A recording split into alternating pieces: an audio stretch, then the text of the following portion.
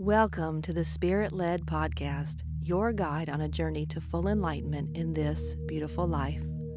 I'm your host, Joan Hope Craig. Each episode, we explore spiritual wisdom, life's purpose, and the profound impact of daily choices on our personal growth and the world.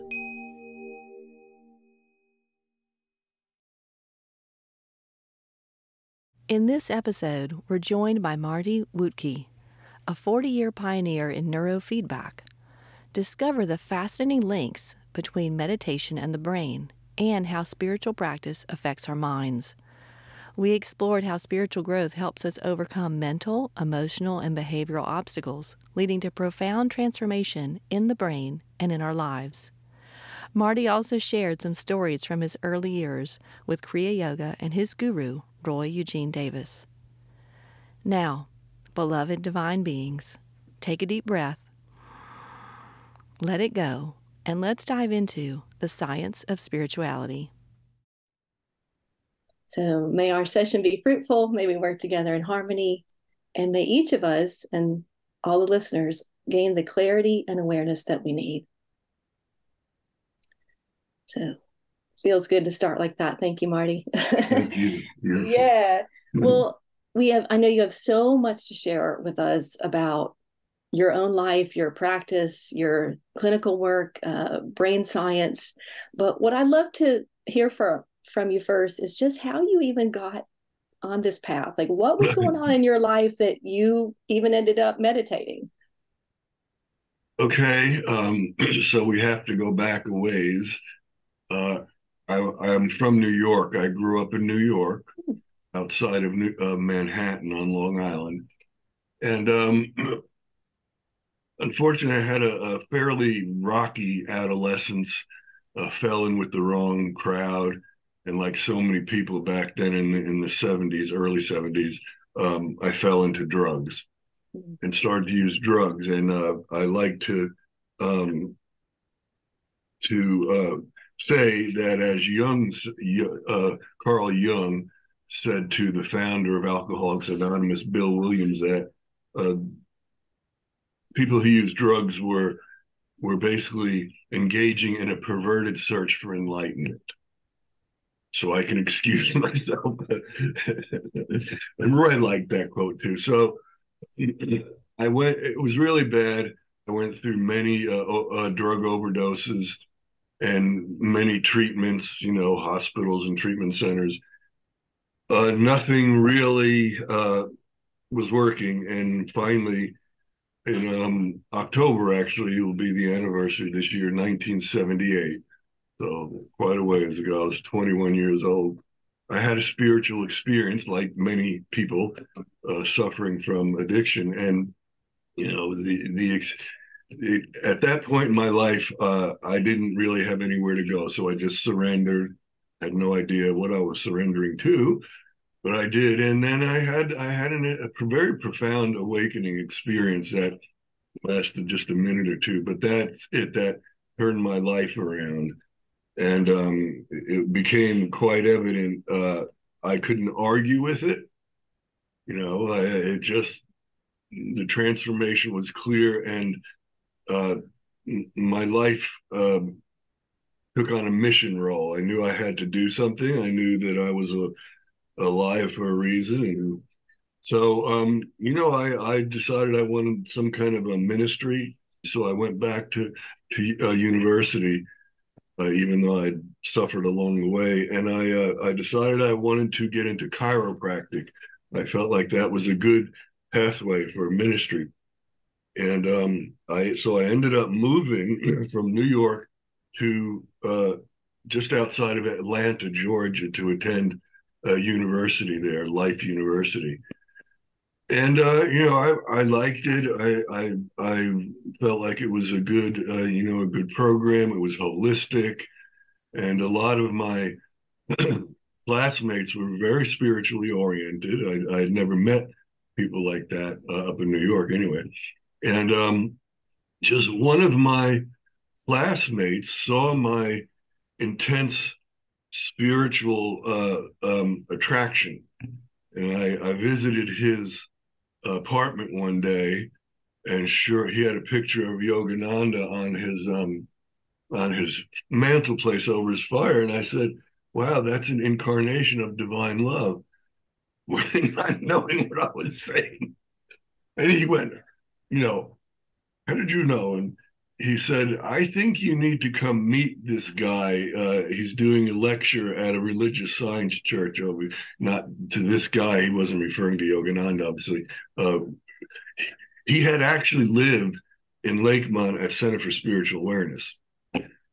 So he said, You need to come meet this guy. He's my guru. So I went to the, uh, it was a Sunday afternoon. Roy was speaking uh, on North Druid Hills at a religious science church and um, as soon as I saw him, I knew. I said, "Wow." You know, it was just it was this uh, intense recognition, which he had too. He he came up. I went up to him afterwards. My friend introduced me, and Roy patted me on the back and said, "Come up and see me." So I started going there.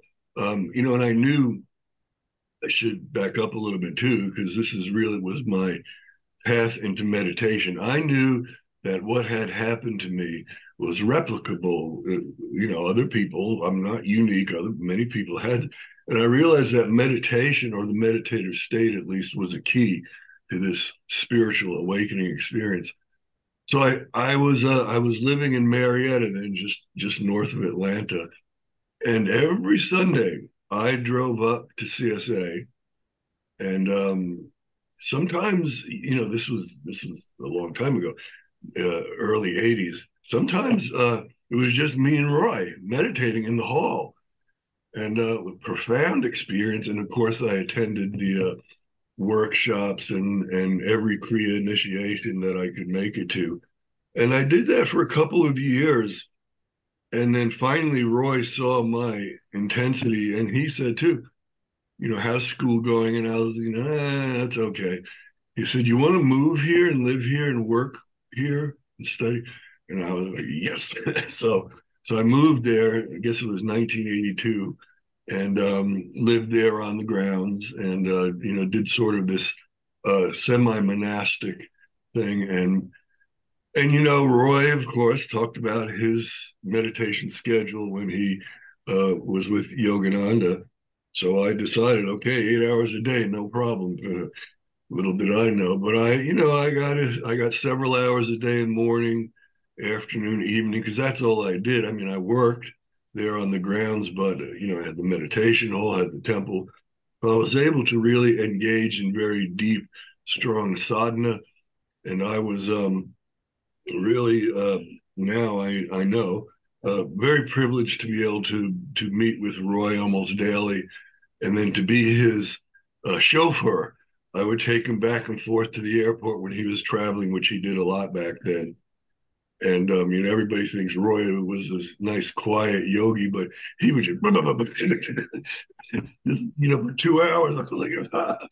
you know, I would try to remember and write down something. You know, a lot of it was just, uh, you know, um, anecdotal stuff. He, the the amount of information he had an awesome memory but he of course told me about Yogananda and then his all of his, his other work and ministry work. So it was great. So I, I that was lovely, and I did that for a couple of years, and really got into the meditation then.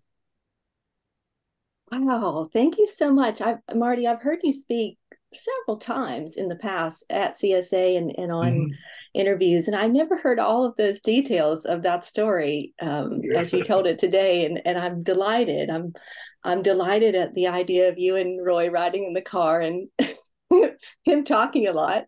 Uh, I met him when he was already 74 and he's mm. very quiet. didn't, didn't chit chat with me at least. Maybe he did with others. But um and and and thank you for sharing about what kind of kind of the the challenges that really unfolded for, you know into something that changed your life and and turned into service. So mm Amazing. Thank you. And and mm-hmm. so I know a little bit about it, but our audience may or may not. How do you end up kind of finding this niche with the brain and neurofeedback? There in in Clayton, Georgia, which was uh, just seven miles from CSA grounds in Lakemont, there was a, a very plush uh, psychiatric slash treatment center. And it was, you know, drug and alcohol, eating disorders, uh, post traumatic stress disorder. Uh, not a huge place, maybe 34 beds. And um, uh, I, one, you know, one day I was in town running an errand for Roy, and I decided to stop in there. And I asked Roy, I said, I'd like to go for a tour. So I went and I met the um, psychiatrist and as I was talking to him, he was very interested in what I was doing, who I was, where I was living. He knew Roy. Uh, I, I asked him, I said, would it be okay if I came in here and volunteered once or twice a week and taught meditation to some of the patients? He said, absolutely. So I started doing that. And then um, the the patients who were attending the meditation, it wasn't all 34, it was just a small group they started to have uh, some profound experiences, which they apparently, you know, the, the medical director would do his rounds at night and go to everybody's room and talk to them. Well, they started to tell him that something was happening. So he he uh, asked to meet with me. This was Dr. Richard Turner, who again knew Roy, and he um I was eating lunch and he sat down next to me and said, I don't know what you're doing down there, but it sure is helping. Is Roy Eugene Davis your guru? I couldn't help but choke on my food. But he had, uh, oddly enough, he had spent time in India. His father was a missionary, so he knew all about the swamis, as he called them. So um, I I asked Roy. I said, you know, this is an opportunity. They want me to design a program for them and teach meditation from a scientific perspective. And he said, Do it. Roy said, That's your ministry. Go do it. So um, I realized after talking to the medical director and the hospital administrator, that you got to remember this is back in 1983 in rural, well, you know, Rabun County, Georgia. and uh, there was nobody else doing this uh, at that point. You know, they came along a little later on. But I realized that I needed to bring scientific validity, credibility, confirmation to the meditation process. That that would be uh, crucial and critical to getting wider acceptance. So I realized, you know, what what happens when you meditate? Well, as Yogananda said in 1920s, changes the brain uh, the spine and the brain is the altar of God. And, you know, those were resonating in my uh, ears. So I talked to Roy about it, and he said, you know, there's biofeedback is a very credible science uh, now being more and more accepted. So I decided that that was, the, and there was a lot of research on meditation in the brain then, mostly from the transcendental meditation people. So I started to pursue that, and Roy sent me up to the Himalayan Institute in Honesdale, Pennsylvania, to study with Swami Rama and his. Had a lot of MDs there. These guys were awesome. And I went to Menninger Institute, studied there. So I, I went to the, you know, the people who were the best. You know, Swami Rama could stop his heartbeat and control his brainwaves and all that. So I decided, you know, I'd go to the best and study and I gathered a lot of knowledge. And then, sure enough, I started um, using it in the hospital with the patients, and and the results were profound. Um, you know, very quickly, everything from uh, you know, uh, addiction cravings, post traumatic stress disorder, insomnia, and so on. But my my agenda was always the same. I wanted to help people clear their minds at, at least approach the meditative state. And obviously, the ultimate goal was to have a, a spiritual experience or, or greater spiritual awareness. So, um, you know, we had the patients for 30 days back then, and I would often see them twice a day. And then we had a daily meditation with the entire staff and the whole patient community. It's a beautiful auditorium and a couple of other CSA people were working there too. Uh, one was a nurse, the other was a director of marketing. So it was kind of a nice to have your brothers, uh, you know, kind of in the background. So I did that for you know 17 years and and developed a wealth of experience and knowledge. I got published very early on. So, um, you know, so I was thrust out into the field as this expert um, and, and have always maintained this sort of, uh, you know, primarily spiritual uh, motivation behind everything that I do. Yeah, it was, you know, taking away people's headaches and chronic pain and addictions. But you know, my my goal was way higher and uh, not higher, but um, deeper, I should say, than that. And and I've maintained that to this day. Although I just about everybody and everything, but that's always the you know the the the the the, the primary hub in the wheel. So I did that for 17 years, and then uh, opened my own office in Atlanta, and then I started going to Europe. And and at the same time, uh, my son was born, and he had a, a brain injury at birth. So I developed an entire program for kids with autism and brain injury, which is thriving in Roswell, Georgia. It's called Jacob's Ladder, named after him. Unbelievable, awesome place. So, um, you know, finally, when I, I, realized I had to move and start a uh, this clinic out here, he wasn't thrilled, but he, you know, gave me his blessing. But um, anyway, so so that that brings us up to now wow so much you shared and and there's a couple nuggets i want to go back to so you know we've got the the whole experience and and i think i read in your book too that you you know you're treating people's symptoms because that's what they're coming in for so you're giving them what they want and what they came in for but always you're having this higher vision for them and for everyone and you had a phrase in your book that I I saw it at least twice. Silently, secretly, sacredly. And that boy, when I read it the first time it hit me and the second time it hit me, and I just wanted you to say a little more about what that means to you and how you've done that. Well, that um you know, that's sort of the way I, I look at the work that I do. And a lot of that comes from Roy also, if you remember, a truth teacher who was actually a Kriya Yoga initiate, um, Joel Goldsmith, started the Infinite Way. And I realized early on that um, our relationships with each other, if we want to take them beyond the human level, are sacred. It's it's just the self communicating with the self.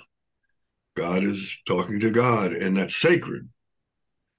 Uh, but it has to be done silently. You can't walk around and I tried that early on and uh, didn't work. In fact, it totally backfired. I was uh, working on a, a, landscaping crew in in uh, Marietta as I was attending chiropractic university, and I decided to tell everybody, "Don't you know you're God?" And uh, and they didn't appreciate that. so um, so this this this relationship, healing relationship, the deepest relationship we have with each other, uh, is sacred.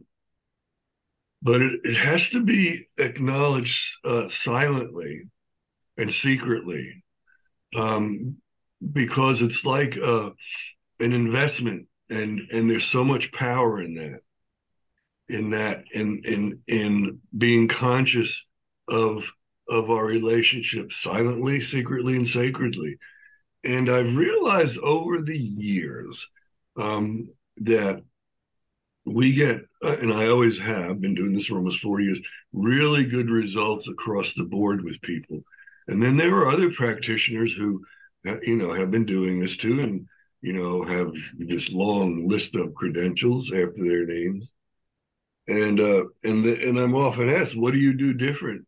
and that's that's it. It's just it's the that. secret sauce. it's your secret sauce. It's, it's like you can sauce. get the best barbecue over here, but this place has the secret sauce.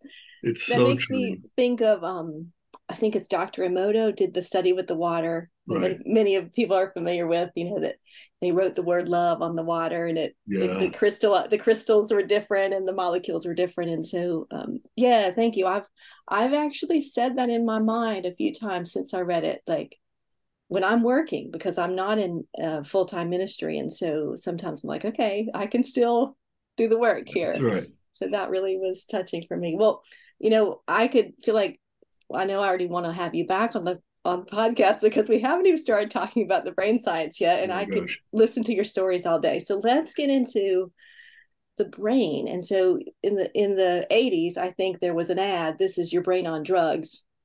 they would show the egg getting fried. So what is the brain on meditation? Tell us about that for people who maybe haven't looked into it before. Well, it's um it's the key to meditate. It's the key to everything. You know, every you know, pure consciousness from my perspective and the yogic perspective enters the brain through the medulla oblongata.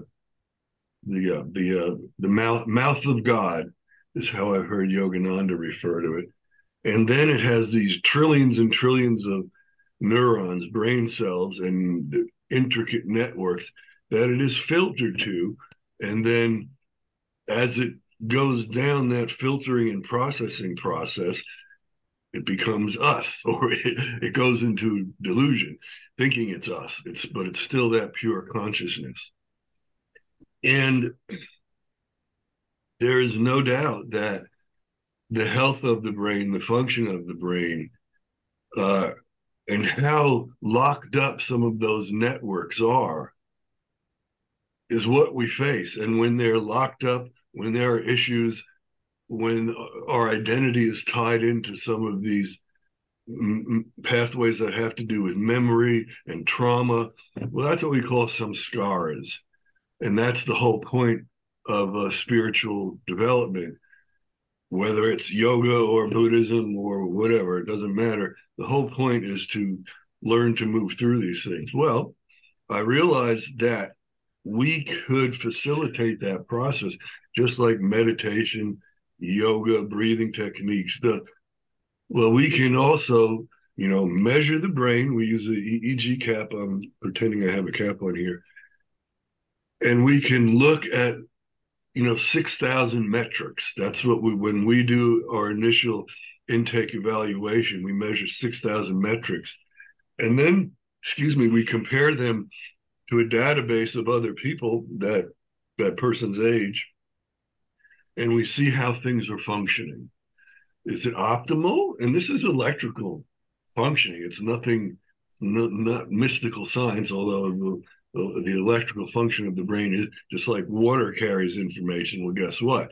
This electricity, you know, your brain can light up a 40 watt light bulb with the voltage. So um, so we started looking at that, and that that is the key and everyone is unique. You, there's no one size fits all model to anything, including meditation.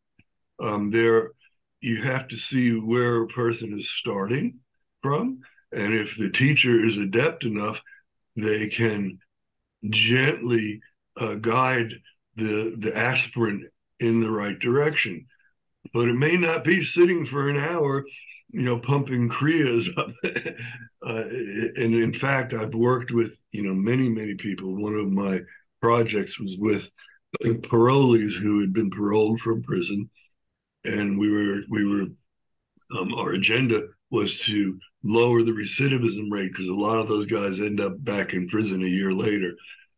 Um, but a lot of these guys, you can't just say, okay, sit down, close your eyes, and and do a mantra they'll they will freak out because as soon as they do, all of their guilt and shame and all that stuff comes up. So we have to, you know, we have to start them out with things like karma yoga, working outside, working on selflessness, and so on. So these are all the little dynamics that that um, I've I've grown to understand and learn how to apply. Um, but the brain, you know, awakening and spiritual development is doesn't happen out here somewhere. It happens in here, and, and we're moving, as Yukteswar says, we're moving now into a more technological age, moving from electrical cycle to the magnetic, and these things are going to be understood and harnessed by it.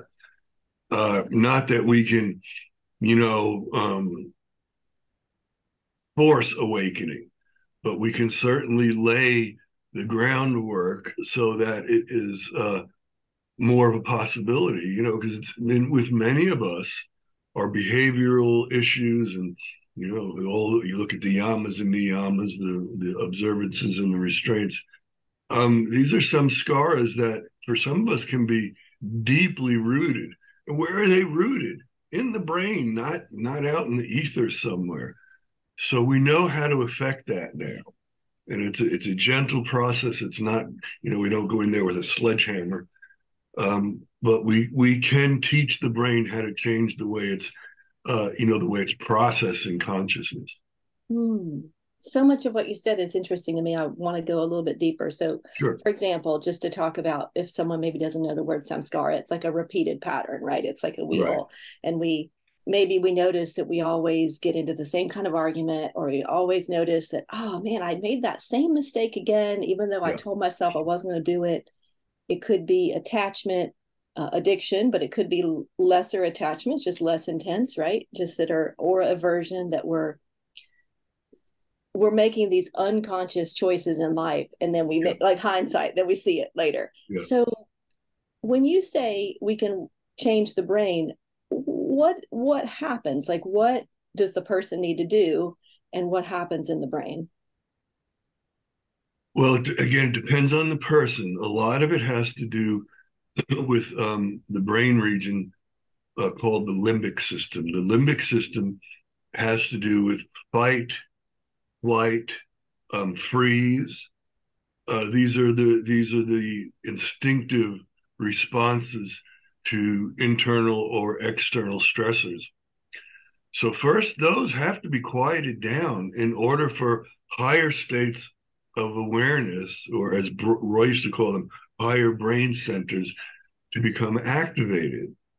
Why? Because they're using up a lot of energy and they're blocking things. I mean, everything we, you know, right now we're communicating, but everything we think, everything we say, everything we do, um, our anxieties, our worries, are, they're all pathways in the brain that are, and if they're problematic, somehow they're stuck, uh, they're tied in to a pathway. Usually that has to do with the limbic system. And so, you know, what our job is initially as meditators is to learn how to quiet that down because that creates, it takes up a lot of energy, but it creates a lot of obstacles to you know our growth process. And um, you know how are these networks created? Well often from our environment we grow up. Our parents unfortunately our environment. And we start to you know part of the the brain networks called the default mode.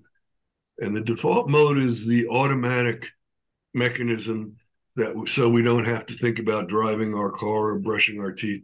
It's just in there. But the problem is the default mode you know kind of keeps us in this hypnotized state. And i don't like that person. I don't like that religion. I don't like this.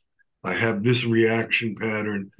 Um, so the default mode wants to kind of take over and drive us down the road even if if there's a cliff on the other end so, in many cases, we have to we have to take that and quiet it, and it's it's proven. And research shows the default mode changes in advanced meditators. So, what does that mean? Well, they're more present. They're not being driven by memory, by old patterns, and so on.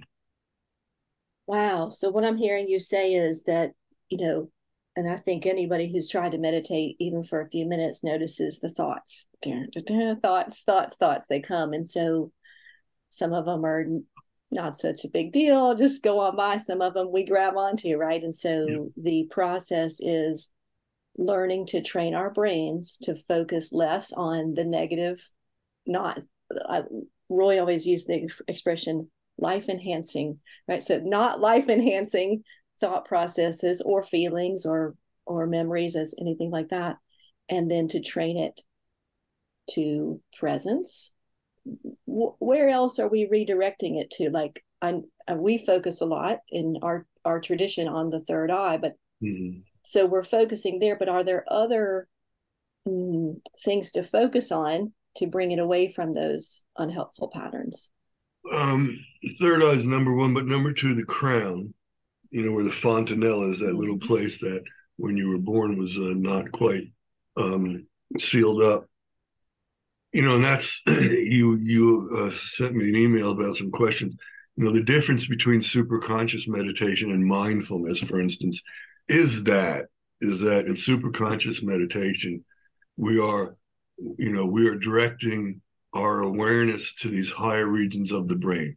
But the caveat is, as I said a few minutes ago, you've got to keep the limbic system out of it because I think I, I wrote this in my book. Higher states of consciousness have a potentially um, a magnifying effect on everything. So they do they they're not respective of the flowers and the weeds. They're gonna they're gonna give a little boost to everything. So you know the weeds in in this uh, explanation I'm giving here correspond to some of the negative things in our consciousness. And although exposing them to su- super conscious energies has this neutralizing effect, so, some sometimes, you know, like I was saying, giving the example with the parolees, sometimes it magnifies things that we're not, you know, you got to weed the garden out a little bit. Right. And so that karma or focusing on the virtues and compassion is weeding the garden. I, I'm a um, kinesthetic learner, so I, I, I need, I sometimes have to take what I hear and, and put it in my body. And so I'm visualizing the light, you know, light of spirit or whatever coming down through these higher brain centers and it's shining the spotlight. And you're saying, it's shining the spotlight on the flowers and the weeds. And if I'm not ready for it, it can send me for a loop. Um, and actually, I know people who uh, started yoga and meditation and then were got really scared. Yeah. You know, because they they found things in their in their psyche that were scary. Um, yeah. There's even some negative studies out of UK, I think, that you know, that are sort of warning people that meditation is not bliss and lights and all that. And it, it, um, you know, it points out these these various individuals who have had these negative experiences, but they didn't do it right. You know, it's just they they tried to move along too quickly. You've got to, got to, you've got to build the foundation. And if we look at the Eightfold Path, right, the, the Yogic Eightfold Path, the foundation, as you said, the yamas and niyamas, it's really, you know, practicing nonviolence, you know, eating right, taking care of your body. And um, a lot of people, of course, now come into yoga meditation through hatha yoga, right? Through the yeah. physical practice, which is yeah. teaching us to be kind to our bodies and be present. So there's, um, yeah, we can't run before we crawl, right? exactly. And you can right. look at all those those steps, the limbs, they are changing specific regions of the brain in in neurodevelopmental work with children we say you don't learn to move you move to learn yes because uh, yes. you can see brain development happen when a child's crawling when it's walking uh, when it's rolling these are establishing uh, connections that are foundational to higher brain function later on in life. Just same thing with the eight steps in yoga. They are all building on each okay. other to develop uh, very specific regions of the brain. Our conversation is making me think about just simple things we can do. Like are there in your book you you wrote about many techniques for daily life. Obviously we know part of part of spiritual growth and part of changing the brain and is sitting to meditate. But there's so many things we can do during the day. Are there little quick habits that you have that you've adapted over time to just kind of snap out snap out of that default mode and get in the moment and and be be centered and and present? Yeah i think that i was thinking about that. The most useful thing i found and many of my clients have found is this um, notion of the gap between thoughts. Because the gap between thoughts is from a neurochemical perspective the opportunity to shift but it's subtle and you, you have to be conscious you have to be aware and and um, not watch for it, but learn how to perceive it. And then in those tiny gaps between the thoughts, you can change everything. You can remind yourself, you can, you can remind yourself of this silently, secretly, sacredly mantra. Um, it, it's it's really a key. It's not easy though, and it, it does require work. um, to to pay attention to the gap. But that's that the gap is the opportunity for neuroplasticity, which is a fancy word, but it just means that our brain is not this frozen thing. It is plastic and it can mold itself. Uh, and things like meditation, I call self-directed neuroplasticity. So self, so meditation is the key, but then the, you know, it's not just about the 20, 30, 40 minutes we sit there to meditate. It's about the rest of the day. What do we take from that meditation and how do we apply? And again, I think the gap is one. And the, you know, the the the other thing to with the gap is is tying it into breath, because your breath, uh, the cycle of breathing is intimately connected with the mind and the body and the emotions. That's why every meditation uh, tradition, almost every, um, has some kind of uh, breath awareness or breath technique. So that that I would say is the other key. Learn how to monitor and regulate your breathing. When I went and studied with uh, Swami Ram at the Himalayan Institute, we spent four days on breathing. You know, and I was there with a bunch of MDs, and we're like, we want to know the secrets. You know, how do we levitate? We don't care about breathing. but he he just he was a, you know, he and and I I'm thankful for that now because that was uh, integral to to my work anyway. Right. And so we won't necessarily endorse like one specific breathing technique here because everybody's different, their body constitution, and but we can observe the pause between the breaths. Yes. And that yes. to me is where I find that gap that you're mentioning. And um, what you said also made me think about Viktor Frankl, um, who wrote the meaning of life. Is that yeah. and, and he talked about in between the stimulus and the response we have there the, you go. we have that's the it. choice. Same, so it's same thing yeah. good teachings in lots of different forms. Well um yeah, that's, that's where the choice lies yeah. There's so much more i want to ask you about and, and maybe we'll save some of it for another visit but one thing um that i'm personally going through right now is a transition with mm, social connections. And the more I meditate and and follow our teachings, I I tend to socialize less. And and just you know, but also so often in in in many scientific studies we see the importance of social connection for the brain's health, just even as we age like minimize the chance of Alzheimer's and things like that. I just would love yeah. to hear your perspective on how that plays out in the spiritual path. Well, I think um, you know it's relative to to where we are on the spiritual path. There is a point where solitude and quiet and uh, less distraction, um, socialization, for instance, is is I think important. But um, once we get there, then social interactions and things like that um, are okay but if if our attention and energy is beginning to get diluted and distracted, we we have to pull back. Right. But for the normal quote unquote average individual, like there's a, a series on Netflix called uh, the Blue Blue Zones. It's about people who live past 100 years old. So Okinawa, Sardinia, Loyola, and socialization is huge as far as one of the factors. Um, and you know, not to get into morbid things, but right now among uh, young adolescents, the depression, anxiety, suicide rate is an epidemic.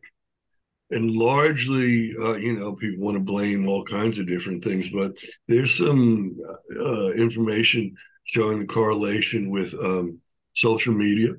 And social media is not communication. You know, and COVID and then that isolation that occurred during COVID. Right. So I again I think that socialization is relative to where we are in our lives and our, our right. development. And um, some of us, you know, need it to be healthy and happy. Uh, others of us, it, it's you know, we've kind of gone through that, and then it, it's it's good for us.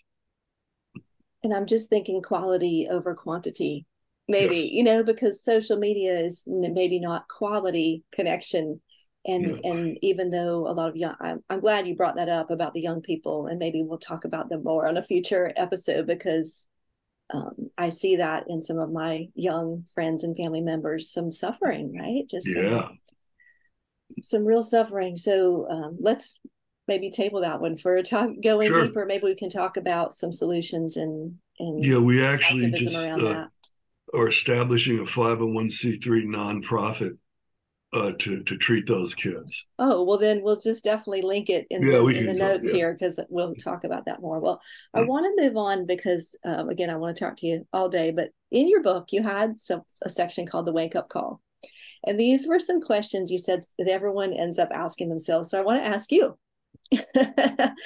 so the questions from your own book. One of them is, "Who are you?" Um. Well, you know, from the from the uh, truth perspective, pure consciousness, you know, working through a mind and body and um, involved with my mission. But I, I know what is in charge, you know, and I'm just kind of playing a role, filling in as best as I can. Um, so I, I, I, know though, and I've realized in uh, certain meditations that you know, I'm, I'm pure consciousness. You're pure kind. All of this is just pure consciousness. So. Yeah, yeah, and and our uh, Roy often said, "What are you?" Right, that was his question. So, who and who and what are you? And what yeah. is your what is your purpose? Um. Well, I'm very, very much in allegiance with the Kriya Yoga tradition. Also, and Roy kind of set me up for this offshoot of that mission. It's also to um, bring science, which which is much more acceptable and can tend to reach more people, um, into the process. And that's what I do. I'm I'm you know, not that I'm a, a this uh, scientist, but I am certainly uh, quite an expert on neuroscience in the brain. So, um, and then what happens in meditation, how the brain is transformed. So I feel like that's my mission. Yeah. And uh, you know, when I look back over the last forty years, well, I can say, well, that's what I've done, and that's what I continue to do. Um, oh yeah. And it's so important. Yeah. What is God?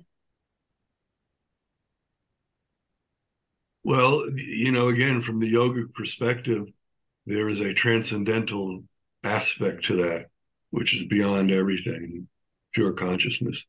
But then, as as the expressive qualities uh, begin to manifest, then you know that's what most people refer to as God, this divine presence that in the deepest silence we can feel. Um, but it's you know again, it's everything. There is nothing that we see, feel, hear, or touch that is not that. And you know, quantum physicists are beginning to to say that. So, um, and the more we you know, you know, people are, well, what's God consciousness? Well, it's it's just being conscious that everything you see, hear, feel, and do is God. You can't can't not be, you know. So yeah. So that's my everything.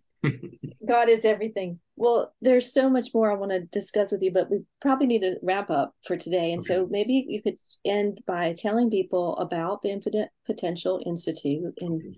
who would benefit from connecting there, and then also just any any parting words for the audience for today. Um, okay, so the Infinite Potential Institute is our latest name. There's been many iterations from Wuttke Institute, uh, Wuttke Institute of Neurotherapy, um, so Infinite Potential Institute just happens to be our latest iteration. Uh, so what we are is um, an outpatient clinic, although I, I, don't like to use the word clinic because we're not medical. Uh, if you were to look at biofeedback and neurofeedback, it's really educational. But you know, I've been doing this for so long. Our clients come from all over the world now. They, you know, this is Santa Barbara, beautiful here, so they will come stay for uh, weeks. Um, not everybody. We get local clients from Los Angeles and Santa Barbara and Ventura, some of the local areas. But um, what we're devoted to is is is facilitating the healing process, whatever that may be. I mean, we get people coming with, uh, you know, mild cognitive impairment and a traumatic brain injury, post concussion, depression, anxiety, but I've got Buddhist lamas coming in too who want to improve their meditation. We have a little bit of everybody and everything. Um, uh, you know, people are going to have different goals, but um, you know, we my expertise is looking at each individual and knowing, you know, where to sort of gently guide them. So to, to be there in person, you'd wear the cap that you described, and yeah, you wear this EEG cap. Uh-huh. Can it be done remotely? Can your work be done um, remotely? During COVID, we did. The, the problem is the equipment is very expensive. It, it so we would actually attach. send, yeah, we'd send a, you know, the hardware, the software, and you have to wear the cap when you actually do the feedback training. Uh, we did that, and it was okay, um, but it wasn't anything as near as robust as when you have the person face to face. But we did it. We had people as far away as Hong Kong um, who we were doing it remotely with.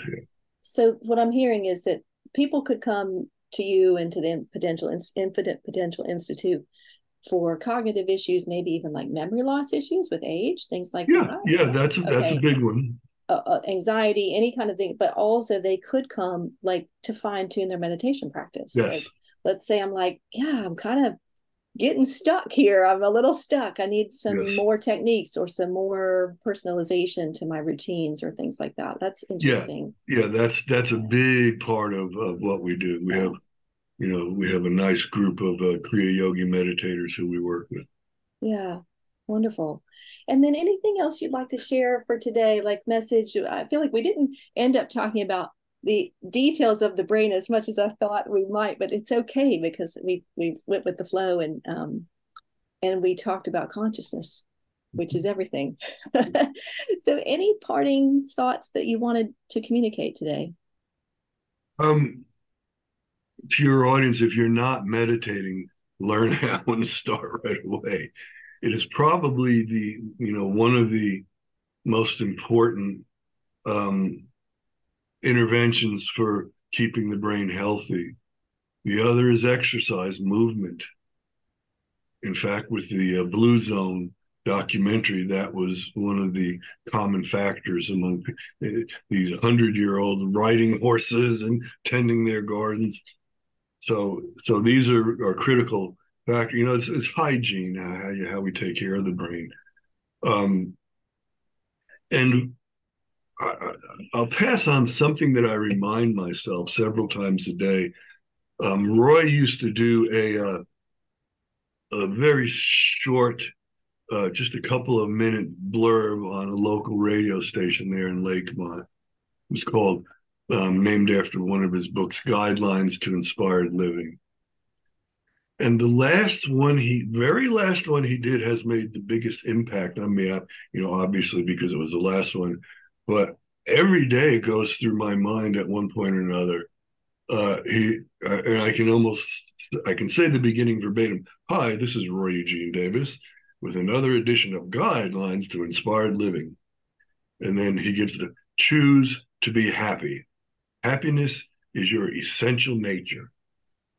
And I was like, oh yeah. so so uh that is that is is is uh a mantra I am really keeping in my consciousness. And then you start reading that, you know, how do you know if you're getting more spiritually advanced? The absence of anxiety and happiness. You know, so this is this is the key to our development. Um, so anyway, I think that that if if if your listeners can remember that one, that's the biggest the biggest gift I can give. Oh, Choose I love it. Be happy. Thank you so much. And and and what I also love about your teaching and your ministry is you have all this science. You have done the work, you have done the research, you've done the clinical work, and you also have a devotional heart, you know, and and that kindness comes from from within you. So thank you so much for sharing Absolutely. your time and your energy and your awareness with us. And um, yeah, we'll we'll hope to see you back on the okay, Spirit Led podcast. Yeah, thank, thank you so you. much. Yeah, really thank appreciate you. it. Thank you for tuning in to the Spirit Led podcast. Special thanks to our producer, Monty Craig. Please subscribe to catch upcoming episodes. For support in your awakening journey, visit our sponsor, the Center for Spiritual Awareness at csa-davis.org we offer online group meditations, classes, and in person retreats at our headquarters in Lakemont, Georgia. Once again, that's csa-davis.org. Until next time, remember your pure essence of being an eternal relationship with the infinite.